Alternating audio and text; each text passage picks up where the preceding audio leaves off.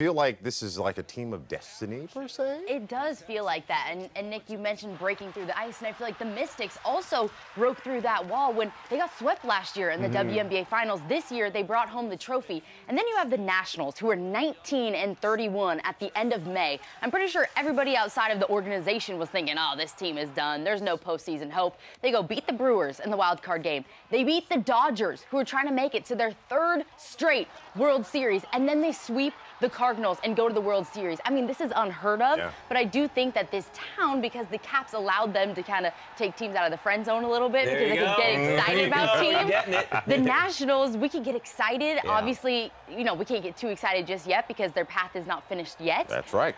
But we can get excited because this town can now taste what it feels like to win. Well, that's the thing.